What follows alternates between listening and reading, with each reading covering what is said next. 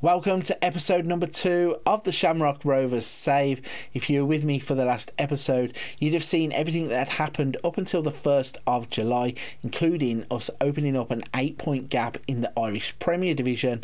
You'd have also seen we only had £953 in the transfer kitty, which meant that we weren't really going to do any business. And as you can see by the screen above me, we actually didn't sign any players in the entirety of the first season. The only bit of transfer business we did was to allow Sean Hoare to go out on loan. He went out to St Pat's for £525, so not even a lot of money there. But the one thing we did do was add a mandatory future fee on for £75,000. And that means that even though it's not the most money that we could have got for him, probably, we are going to have at least something in the transfer kitty, even if it's just to convert to wages to allow us to buy players in the second season.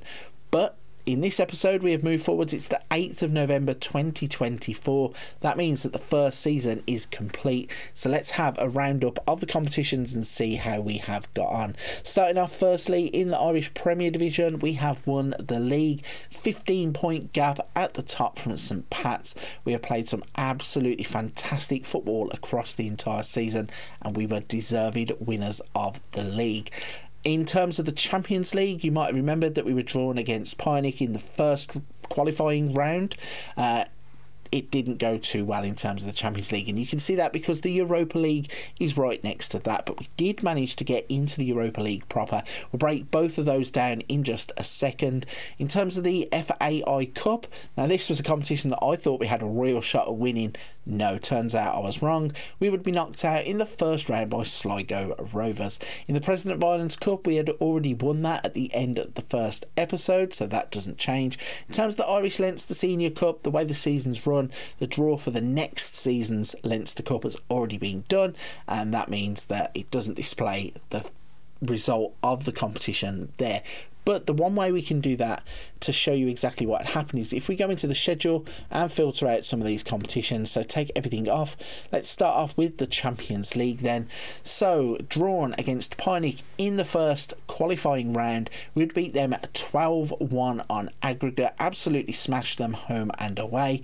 We'd then be drawn against Victoria Pilsen. We would draw 2 2 in the away leg before beating them 1 0 at home, and that put us through to the third qualifying round where we would play Astana. Unfortunately, we would lose the away leg 5 2, and it was quite a disappointing performance before a 3 3 draw at home, which was far better from us, but it was a case of too little too late. So, knocked out in the third round of the qualifying pathway. However, that meant that we would go on and play in the Europa League. So, let's break down the Europa League and show you what's happening so far. So, as you might expect, a big step up in terms of the the quality we would play. So in the qualifying stage to get to the group or the league phase as it is now, we would lose the away leg 3 1 and then we would win the home leg 3 1 and we would go through in the penalty shootout winning that overall. However, once we got into the Europa League proper, it was very apparent that we were not ready to be playing at this level of football. So, firstly, we were drawn up against Juventus, we got beat 5 1. Then we played against Aston Villa away from home, we got beat 3 1 at Villa Park. We then went to Austria Vienna and we lost 2 1. In fact, they came to us, sorry. So, it was a home game against Austria Vienna and we would lose that 2 1 before we did go to Real Sociedad and managed to get a 4 2 victory. Absolutely fantastic uh, result on the road, something that I was not expecting. And as you can see, we still have two games to go in that Europa League league phase, which are Hibernian and Brighton. If I show you that quickly, we are towards the bottom, 27th place at the moment, and we have three points from four games. Quite disappointing, really, but as I said, we are completely out of our depth, if I'm perfectly honest. Some of the teams that are in this competition, the likes of Atletico Madrid, Rennes, uh, Sociedad, Monaco, Villa, Juventus, Manchester United are in there, Leverkusen, Fiorentina. It's a season too soon to be even trying to compete in any kind of European competition, but it's a building block. At least we have now experienced it and we can take that going forwards. Looking then at the Leinster Senior Cup, let's just show you that quickly. So, started off against Wexford, where we had a 4 1 victory. We had a 2 0 victory against Dundalk, a 5 0 victory against Bray Wanderers. Then in the final, we would beat St Pat's 4 1. So, a brilliant outcome as we win another trophy. So, if we tick those off, then it's a league, it's a President of Ireland's Cup and an Irish Leinster Senior Cup, which means we've basically won a treble in our first season. Absolutely fantastic and a brilliant way to open up our account. Europa League could be better, but as I keep saying, we're there probably a season too early, especially in the group phases, and I think we can do better as we go forwards. Looking at the finances then for next season, so somehow the club have managed to dig up £6.8 million as a transfer budget, which is quite impressive considering it was only supposed to be £696,000. Now, the one thing that I think might happen here is we're going to have all this money but we don't have a big enough reputation for a lot of players to join us. So it might be that we convert some of that into wages and try and sign some free transfers, or it might be that we just try and chip away at some budget bargain deals just to try and get players into the club. Looking at the club vision then quickly, a B from the board, our job security is secure. We hit all of the targets that they asked us really, maintain the best youth system, work within the wage budget and grow the reputation of the club. And then maximum one year contracts for over 32s, that's a big tick. Be competitive in the Champions League, so we passed that. So it must have meant that it was just the qualifying phase. Be competitive in the Europa League, pleased with that considering we got into the league phase and win the Premier Division we did that. In terms of the highlights, they are pleased with the 4 2 victory against Sociedad, pleased with the 1 0 victory against Drogheda, and the board are pleased that the team reached the third qualifying round of the Champions League. They were concerned, though, about a 2 1 defeat to Austria Vienna. So, not really a big deal. And from the supporters, we get a B overall. Signing high reputation players, I did say we were going to fail that because we can't afford high reputation players at £953. However, now we have 6.9 million. We might be able to get a few higher reputation players. Uh, finish above Bohemians in the league win the Premier Division. So we are doing okay in terms of all of those. In terms of what they are liking and not liking, so pretty much the same thing 3 1 victory against Bohemians, the 4 2 victory against Sociedad, 5 2 victory against Dundalk. They are upset against about the defeat to Austria Vienna, and they are disappointed by Leon Pohls recent performances. So, Leon Pohls is going to be one that you will see very shortly. Might be replaced very, very quickly.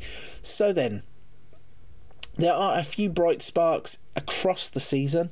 Let's show you some of those. So, from our youth intake, we managed to snag two players that I think are going to be absolutely fantastic. You can see in the top right hand corner, it said there this is a high potential player. His potential ability is a full five stars. Our Bosnian youth intake prodigy, Said Jupic can't really decide where his best position is on the pitch. We don't play with an attacking midfielder, so we've played him up front. He has only scored one goal from three Europa League games. He scored two goals from seven league games. So I'm guessing he's not going to be a striker. He does look like he would be better suited if he was to drop back certainly play for us in this central midfield position. So one to definitely watch out for there. The next one is Naj Razi. He's another player who has come from our youth development system promoted into the first team and one who has really hit the ground running. I think he has a good, good future, a four star potential ability there.